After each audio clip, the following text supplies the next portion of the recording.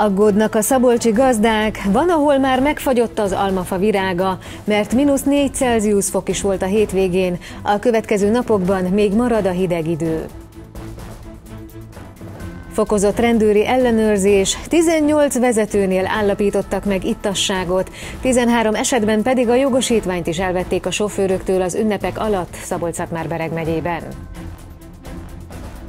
Hamarosan kiderül, az Oktatási Hivatal szerdán küldi el a középiskoláknak az egyeztetett felvételi jegyzéket. Ez alapján értesítik a diákokat, hogy sikeres volt-e a felvételiük vagy sem.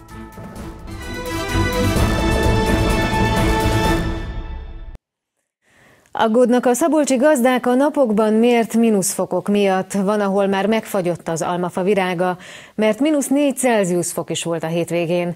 A Kölcsei Televízió híradóját látják. Köszöntöm Önöket!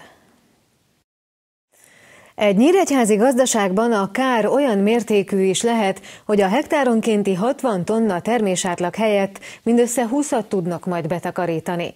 Az előrejelzések szerint a következő napokban még marad a hideg idő. Az idared almafa virágain egészséges esetben fehér szirmok vannak, ebben a nyíregyházi gazdaságban azonban a fagy miatt bebarnultak. Ezen a 2,2 hektáros ültetvényen tavaly is csökkentette a termésátlagot a fagy, amely ebben az évben is veszteséget okoz. Az elmúlt napokban mínusz 2 és mínusz 4 Celsius fok közötti hőmérsékleteket ismertek. Megnézzük a virágokat, a virágszirmokat, el vannak barnulva, illetve nagyon jól látszik, hogy a portokok, tehát messziről is jól látszik, hogy a portokok a pozó szálak, illetve a bibe középen el van barnulva. Tehát ez nagyon jó látni. Itt látszik is, hogy már a magház is teljesen el van barnulva, de ha kipontok egy olyan virágot, éppen van a kezemben, ami még nincs kinyílva, itt is lehet látni, hogy a bibe, bibe szálak teljesen el vannak barnulva. Vannak fák, amelyeken csak a virágok egy része van elbarnulva, Illés Attila szerint azonban péntekre a többi is ilyen lesz. A gazdák különböző biostimulátorokkal és termésnövelő anyagokkal kezelik majd a növényt, azzal talán megmenthetik majd akár a 30-40 százalékát is. Erről a kertről várunk körülbelül egy olyan 50-60 tonnás termésmennyiséget hektáronként. Hát bízom abban, hogy ha ahogy én elnéztem a virágokat, mert nagyon sok, van olyan fajta, ami már elvirágzott, tehát már termésködőtés megtörtént, de ez nem, nem befolyásolja a, a fagy érzékenységét. A, ha jól megnézzük, ugye középen a bibeszálak, ahogy vannak, mellette a portokok, a bibeszálak elszálltak, barnák maradtak, míg a portokok sárgák maradtak. De például most délelőtt voltam Perket pusztán egy bioültetvényben, ahol a portokok, portokoktól megkezdve a bibeszálakig minden el volt barnulva, el volt fagyva, ott nem hiszem, hogy egy olyan 10-20%-os termés sem lenne. A pontos terméskiesés mennyiséget majd akkor tudják megállapítani, ha a gyümölcs eléri a 30-40 mm-es nagyságot. Szabolcs-Szatmár-Bereg megyében körülbelül 30 ezer hektáron termelnek különböző gyümölcsöket, ebből is a legtöbb az alma 18 ezer hektárral. Vannak ilyen speciális fagyvédőgépek, amivel lehet védekezni a füstöléssel, ilyen hagyományos módszerekkel.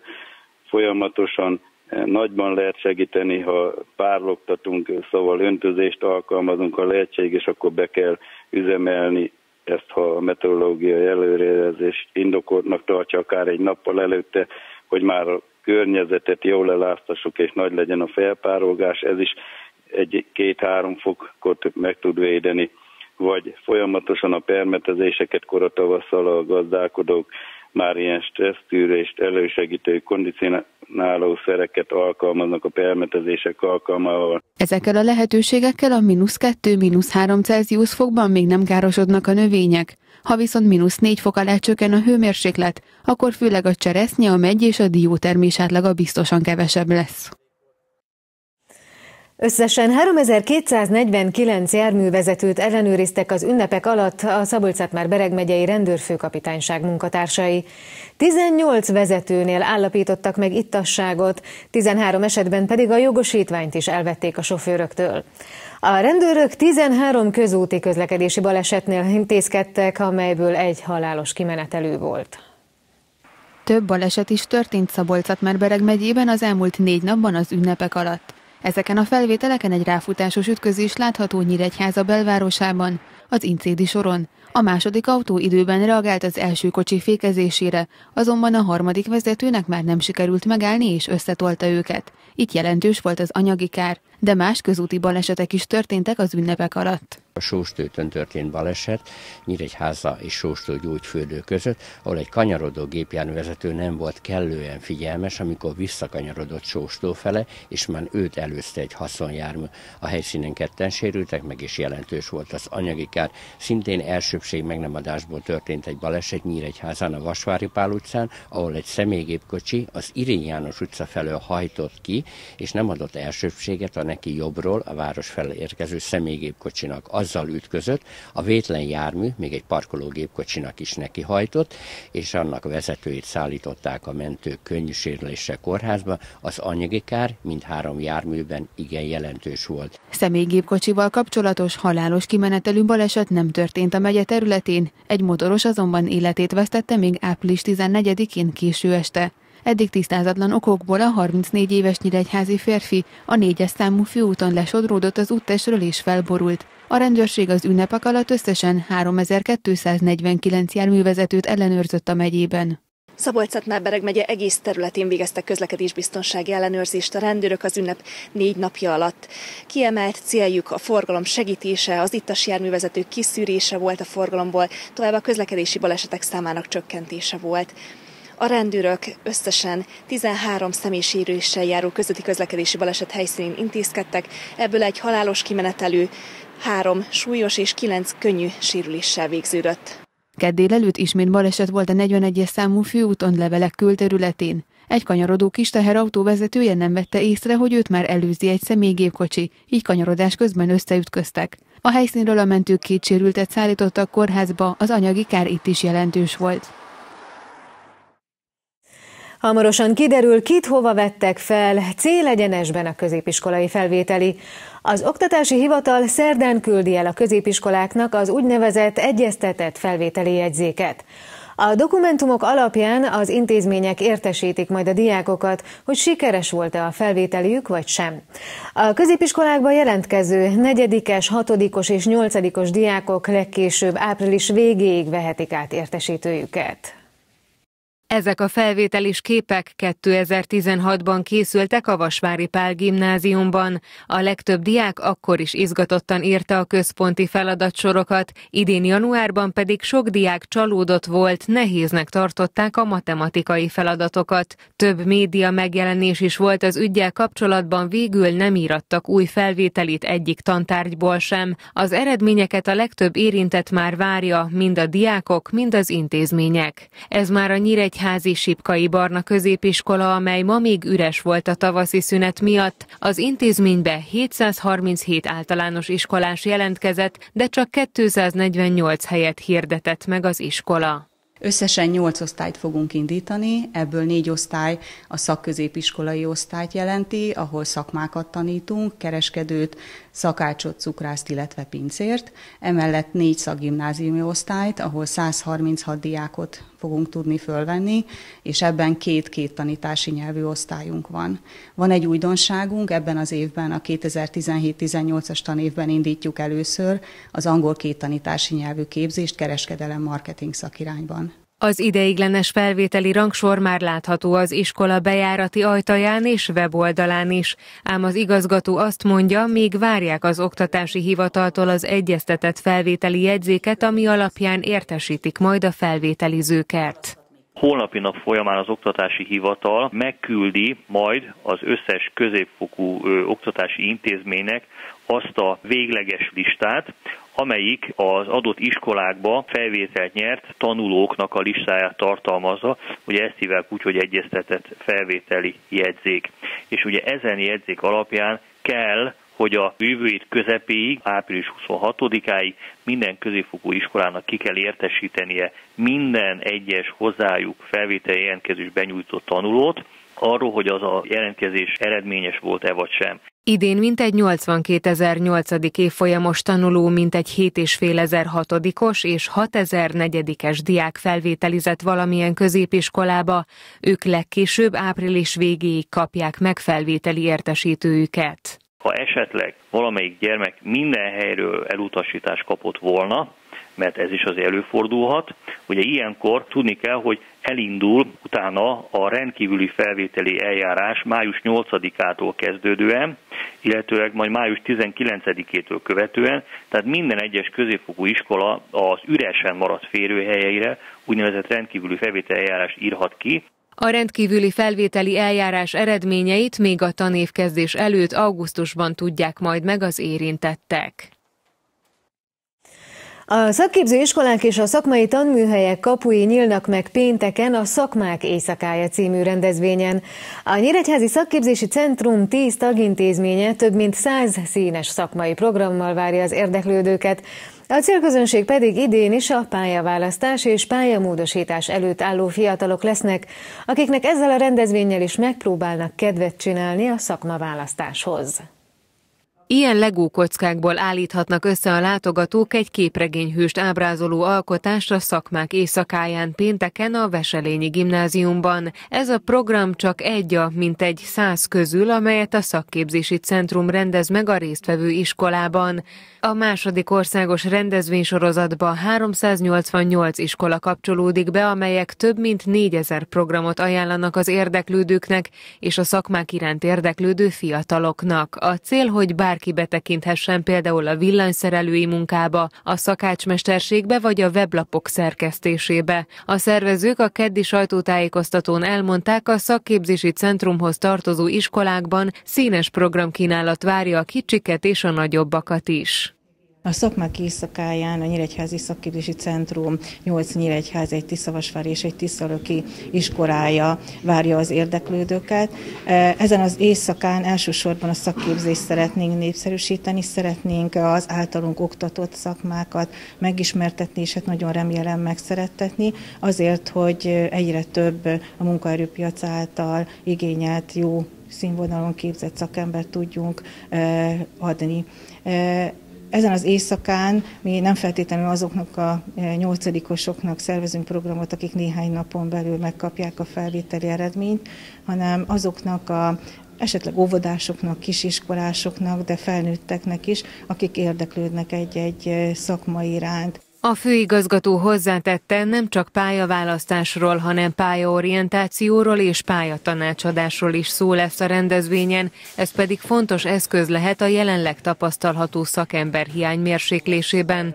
A szakmák éjszakáján az iskolák konkrét szakmaajánlatokkal egyaránt várják a fiatalokat. Minden iskola külön programcsomagot készített, és megtalálhatók ezek a programok az iskolák honlapjain. Egy színes táblázatot talál majd minden érdeklődő, ahol különböző színnel jelöltük a programokat. A zölddel azokat a foglalkozásokat, programokat jelöltük, ahol kipróbálhatja a szakmát, sárgával, amelyik interaktív programot jelez, és a kék az, amelyel bemutatjuk, bemutató lesz.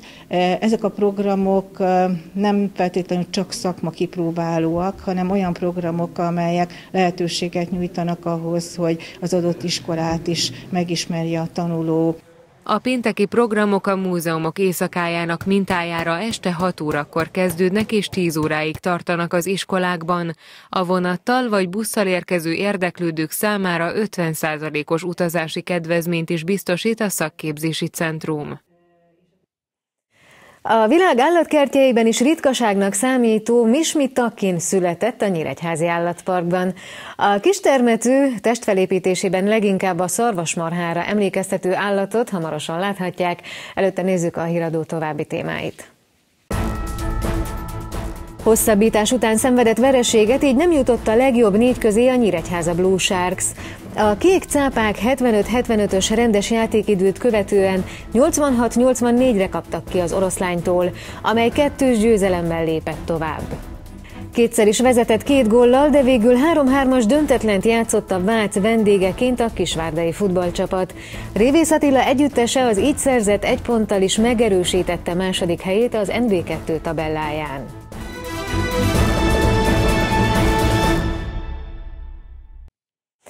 A világ állatkertjeiben is ritkaságnak számító Mismi Takin született a Nyíregyházi Állatparkban.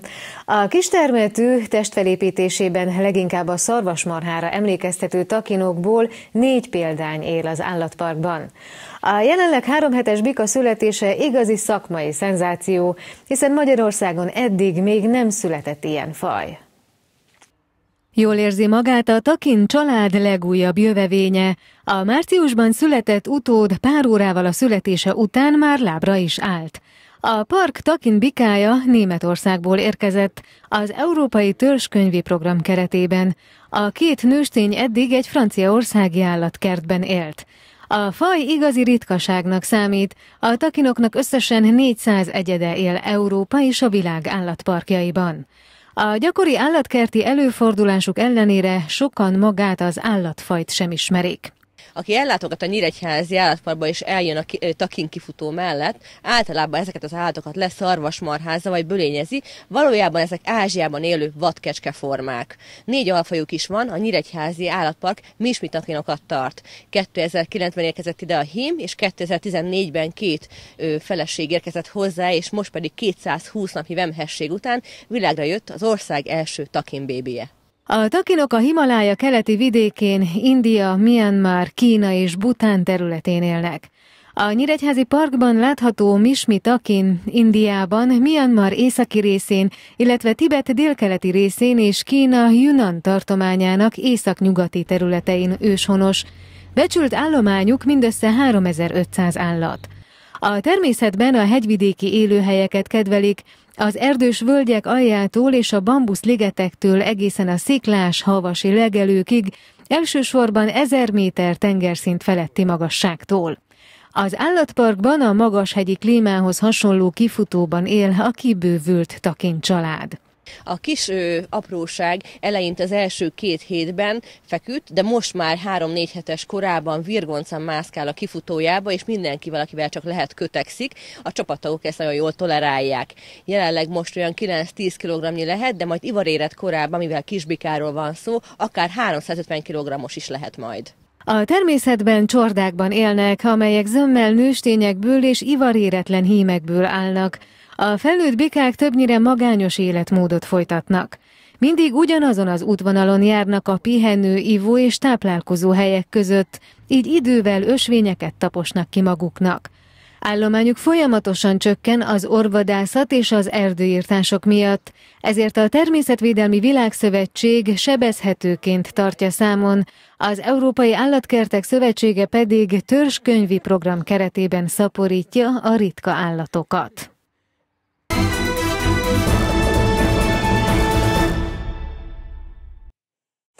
Hosszabbítás után szenvedett vereséget így nem jutott a legjobb négy közé a Nyíregyháza Blue Sharks. A kék cápák 75-75-ös rendes játékidőt követően 86-84-re kaptak ki az oroszlánytól, amely kettős győzelemmel lépett tovább. A nyíregyháziak az 5.-8. helyért az MTK török Bálint ellen folytatják. A hazaiaknak mindenképpen nyerniük kellett ahhoz, hogy életben tartsák továbbjutási reményeiket, és ennek szellemében kezdték is a mérkőzést, az első negyedet 9 ponttal nyerték a kék cápák. A folytatásban fordult a kocka, a nagy szünetre már az oroszlány mehetett három pontos előnnyel. A második félidőben váltott vezetéssel haladtak a csapatok, végül 40 percet követően 75-75-öt mutatott az eredményjelző, így jöhetett a hosszabbítás. A ráadás 5 perc már szerencsejáték volt, az utolsó kosarat az oroszlány szerezte, amely két pontos győzelmének köszönhetően kettő sikerrel jutott a legjobb négy közé, a nyíregyháziak pedig az 5.-8. hely valamelyikének megszerzésével vigasztalódhatnak. Gratulálok az oroszlánynak a továbbjutásra, és sok sikert kívánunk nekik. Nagyon jó szerzett csapat, őre minden poszton van jó cseréjük. Igen, egy kemény mérkőzés volt. Én úgy gondolom, hogy a maximumot nyújtottunk, semmiféle szégyelni nincsen. Na, az is nagyszerű, hogy idáig eljutottunk. Én gratulálok a fiúknak a küzdésért. A vendégek edzője szerint az döntött csapat a javára, hogy több rutinos játékos tudtak pályára küldeni, mint a hazaiak. Tudtuk, hogy a Nyíregyháza mindig erősen kezdi az összes mérkőzését. Rövidebb pad miatt, hogy ne is fáradjanak el a végére, kevesebb falatot tudnak használni. Nagyon fontos nekik, hogy az elején komoly előnyt építsenek, ahogy a bajnokságban ezt többször is megtették, és mégis szoros lett a, a rangadóiknak a nagy része. Próbáltuk ezt elkerülni, egyik mérkőzésen sem sikerült. viszont úgy gondolom, hogy jóval hosszabb a rotációnk és több a rutinos játékosunk, ami ilyen szituációban döntő, és mind a két mérkőzésen az első negyed lazább játéka után be tudtunk keményedni, sokkal agresszívak tudtunk lenni támadás védekezésben. A nyíregyháziak legeredményesebb játékosa, a 28 pontos szerző Bus Iván érthetően csalódott volt a mérkőzés után. Nagyon jól kezdtünk az elején, megint 10 pont feletti előnyre tettünk szert, várható volt, hogy az oroszlány fel fog zárkózni, félidőig egy egál meccs volt, második félidőben kicsit elléptek tőlünk, akkor védekezés váltottunk, és a 3-2-es zónánk működött is helye közel. Támadásban kicsit döcögött a játék, de harcoltunk, küzdöttünk, megtaláltuk a pontokat. Hosszabbításra mentettük a, a mérkőzést, ahol igazából már falt gondokkal küzdöttünk a második félidő eleje óta nem is nagyon tudok mit mondani, egy labdás mérkőzés volt, sajnos sok büntetőt, köztük én is sok büntetőt hagytam ki. Talán, ha jobb százalékkal dobjuk azokat, vagy a végén az ittszerek becsorognak, nem pedig ki, akkor mi hagytuk volna győztesen a találkozót. A kék cápák az 5.-8. helyért az MTK Török Bálint ellen játszanak. A két nyert meccsig tartó párharc első felvonása a tervek szerint május másodikán lesz Nyíregyházán. Kétszer is vezetett két góllal, de végül 3-3-as döntetlent játszott a Vác vendégeként a kisvárdai futballcsapat. Révész Attila együttese az így szerzett egy ponttal is megerősítette második helyét az NB2 tabelláján. A Kisvárda a következő fordulóban az Zalaegerszeget fogadja. Dunaújvárosi albéletében fogadta Váca Kisvárdát, amely az első perctől kezdve támadólag lépett fel. A hetedik percben Rajci 11-esből szerzett vezetést a vendégeknek, 6 perccel később pedig oláduplázta meg az előnyt. Szünet után egy lecsúszott beadásból szépítettek a hazaiak, de a 63. percben Olá ismét visszaállította a két gólos különbséget. A váciak azonban két perc alatt egy fejes gólból és egy szabadrugásból egyenlítettek, és hiába volt a hajrában két meslabdája is a Kisvárdának, végül meg kellett elégednie egy ponttal a vendégcsapatnak. Szerintem mindenki inkább csalódott, hogy ott hagytunk két pontot ugye városba. Hát a játék képe az nem ezt sugalta, biztos győzelemnek tűnt, azonban figyelmetlenek voltunk, és hát ez a döntetlent eredményezte sajnos. Nem is tudom, hogy mikor kapott a csapat utoljára ennyi gólt. Igazából ugye ott kezdődött az egész, hogy volt egy lecsúszott beadása az egyik játékosnak, és onnantól kezdve pedig igazából borult a dominó. Én azt gondolom, hogy ha rendezzük a sorokat, akkor ilyen többet nem fordul elő.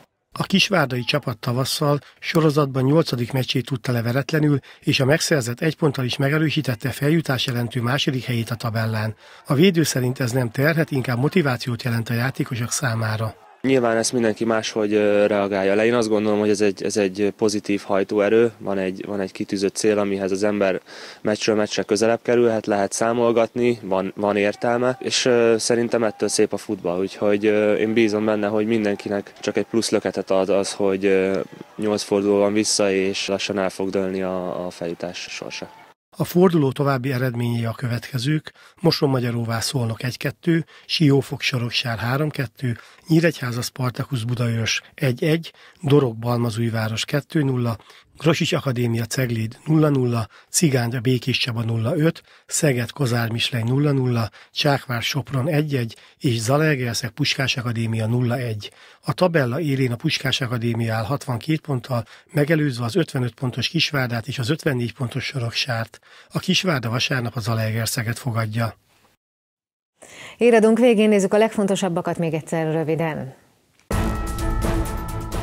Aggódnak a szabolcsi gazdák a napokban mért mínusz fokok miatt. Van, ahol már megfagyott az almafa virága, mert mínusz 4 Celsius fok is volt a hétvégén. Egy nyíregyházi gazdaságban a kár olyan mértékű is lehet, hogy a hektáronkénti 60 tonna termés átlag helyett mindössze 20 tudnak majd betakarítani.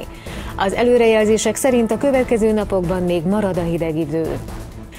Összesen 3249 járművezetőt ellenőriztek az ünnepek alatt a szabolcs már Bereg megyei rendőrfőkapitányság munkatársai.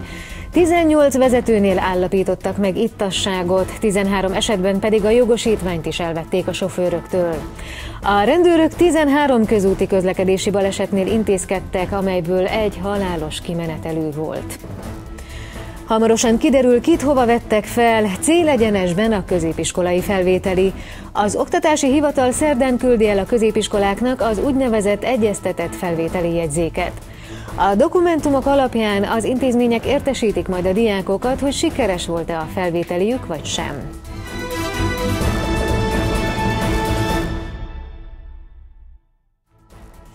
Önök a Kölcsei Televízió híradóját látták április 18-án kedden. Friss hírekkel holnap este jelentkezünk, híreinket addig is megtalálják honlapunkon. Én köszönöm szépen a figyelmüket, viszontlátásra!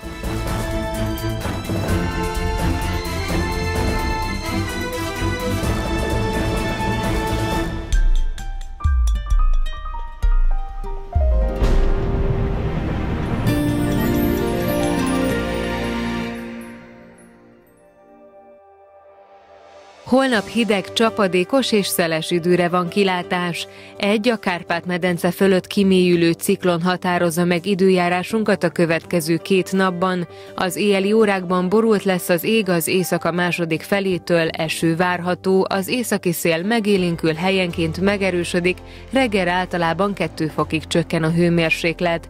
Holnap napközben túlnyomóan borult lesz az ég, jelentős mennyiségű csapadékra kell számítani, havas eső is előfordulhat. Az északkeleti szél megerősödik, helyenként viharosá fokozódik, napközben alig emelkedik a hőmérséklet, délután 4 fok körüli értékeket mérhetünk, kettős fronthatás érezhető térségünkben. Csütörtökön még marad a télies, kifejezetten kellemetlen időjárás esővel, hóval és erős vagy viharos északi északkeleti széllel. A hét végén, jövő hét elején már több fokkal melegebb idő várható, de az időjárás megtartja változékony jellegét. Szeles marad az idő, a napsütés mellett sok lesz felettünk a gomoly felhő, és a pénteki csapadékszünetet követően záporok továbbra is kialakulhatnak.